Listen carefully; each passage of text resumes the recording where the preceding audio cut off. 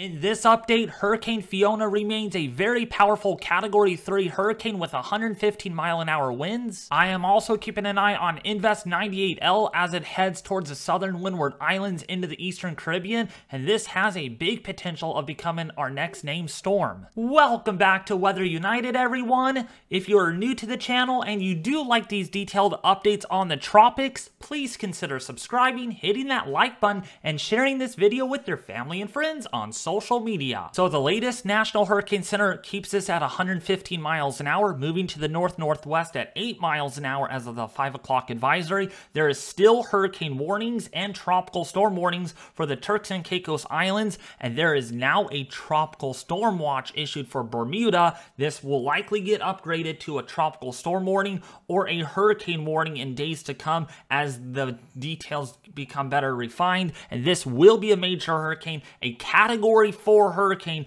passing very close to Bermuda. So this is going to bring substantial impacts I'm concerned about if you're on Bermuda. And so you need to take this seriously already because we're continuing with um, a system that is going to get very dangerously close to the small island of Bermuda in the next two to three days. So heavy rains around the center of Fiona will continue to impact the Turks and Caicos Islands through this evening with continued life-threatening flooding, localized additional flooding, and urban flooding is also possible still in the Puerto Rico and the Dominican Republic. And again, big key point here, and I'm just going to skip through this to number four. Fiona is expected to affect portions of the Atlantic Canada as a powerful hurricane force extratropical cyclone late Friday into Saturday.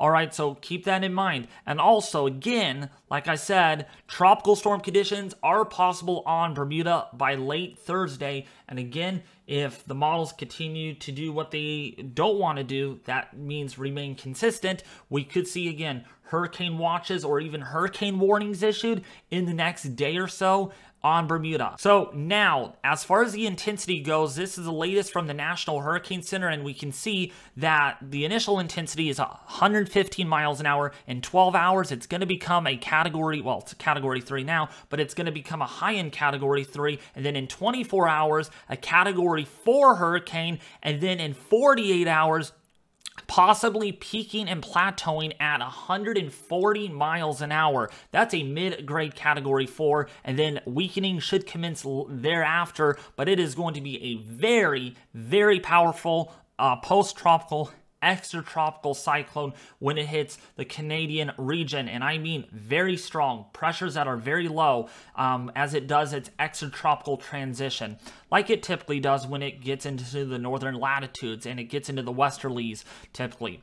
So as far as the GFS model goes, we can clearly see with what we are dealing with here, this is um, pretty concerning. Then we're going to talk about Invest 98L because that is on our uh, on our dinner plate to really watch closely. So I'm just going to roll through this very quickly and we can see in 60 hours it is at 945 millibars and then by the time three days comes around by Friday morning it is passing very close to Bermuda and I mean I'm going to put this in a black dot so you can all see where Bermuda is in relation to the system. That is very close. That will bring tropical storm force or even hurricane force winds on the island of Bermuda Friday morning. And then that moves out and impacts Canada eventually as a very powerful extratropical cyclone. And when we take a look at our Atlantic wide view, let's take a look at that very quickly here. Um, since people in Canada are probably watching this, 928 millibars in about four days. That is very deep extratropical cyclone impacting near Nova Scotia. I'm sure there will be serious wind damage, serious flood problems, and uh, also coastal flooding, beach erosion, storm surge. Yes, you name it. It's going to be a very powerful system when it gets up there in about uh, three to five days. Now, the rest of this video will be focused on Invest 98L that has a huge potential right now, and I mean a big potential of becoming our next depression in the next three to five days. And I'm not saying this very lightly. It is supported by the European model, by the GFS, the Canadian, and even the ICON model. All of the reliable global model guidance does indicate that this has a pretty big potential of becoming something pretty big um, in the next um, seven to eight days. But we're not going to go that far out, right? Because we want to make sure we are providing the most reliable weather information as detailed, as accurate as we can possible. We're not here for the hype. We're not here to um, kind of scare the public because you know how that can be sometimes. So looking at um, Invest 98L, we can see that convection has become slightly better organized since this morning, not as blobbier, and it is also showing signs at the surface that we might be starting to see a more sharper trough. So we have winds that are coming in out of the south, wrapping around this wave envelope, and it's the northern flank of this wave that might be able to focus that vorticity and spin, and we might be able to get a consolidation of a closed surface low by the time it gets into the southern windward islands. And again that's if the deep convection can um, able to continue. There's not much arcing bands but well to the north of it we have some uh, convective collapses going on. But the dry air does not look to play a role at preventing this thing from forming nor is a shear. Except we do have a little bit of northerly shear on the system but that too will abate as soon as this gets into the Caribbean. Not right away but probably in about four or five days we expect expect things to kind of uh, lighten up quite a bit. So here's a look at the latest NHC um, as far as their areas to watch. And of course, we are all interested in, in this down here that has a 70% chance. If we go back to their interactive page, we can see what it looks like. There is an 80% chance of tropical formation on this system. Okay, an 80%. Yesterday, when I made a video on this, it was just at a 10% chance of tropical formation. So what a huge increase in their probabilities with this. So this now seems pretty likely.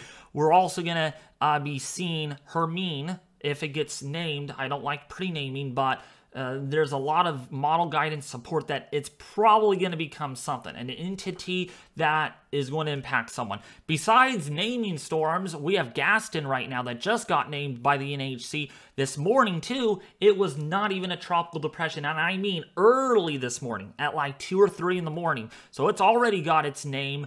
Um, that's already our eighth name storm of the Atlantic hurricane season, we could be looking at our ninth name storm possible in the next 10 days. So keep that in mind. Very active Atlantic right now, as expected in mid September. So now we're going to get back into the GFS model and we're going to be focusing on our invest. Don't worry about um, Fiona or Gaston.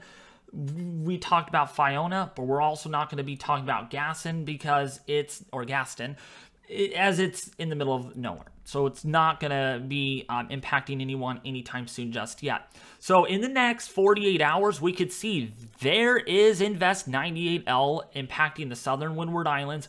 Heavy rain, strong winds, thunderstorms, squally inclement weather, you name it, it's going to be rough down there as this passes to your south if you're in Guadeloupe and it passes over Trinidad and Tobago, if you're in Barbuda, if you're in St. Kitts and Nevis, if you are on some of those islands, this is for you. You're expecting some inclement weather. Now, the system struggles on the GFS. In the next three days, it doesn't do much, okay? It, in fact, probably weakens a little bit.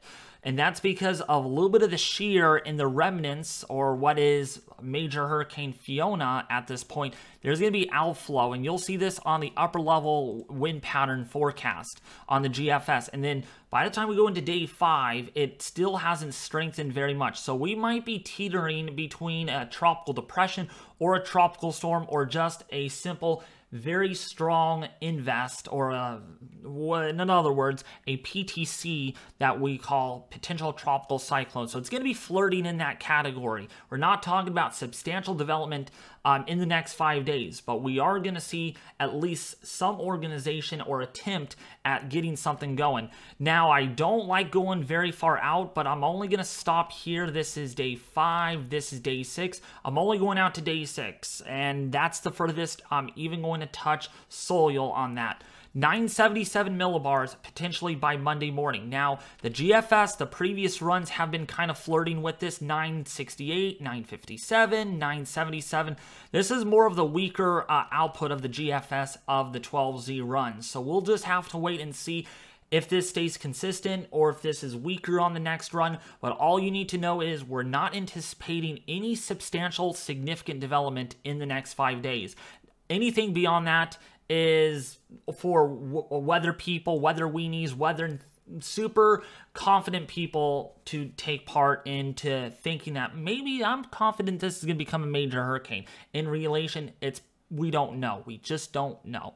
So the European model has a different scenario, and this is kind of the ceiling of things. The GFS is more bullish with the forecast, while the European model in its first five days really doesn't show much at all through Sunday. Only a very weak tropical depression or a simple invest. Nothing substantial on this model. And then if we go all the way out to Monday morning, um, that is, let me make sure I'm right. Yeah, Monday morning, we're talking about maybe a low and tropical storm with maybe 35 to 40 mile an hour winds probably the extent of that. And so the European probably onto something. It's been consistently showing this a lot weaker than all of the other models. You know how the European could end up being. So the reason why the GFS model does not show significant development in the next five days is because we have this outflow, this what we call curved back returning flow from, um, we have Fiona right here, expelling its outflow coming out of the north and wrapping around. So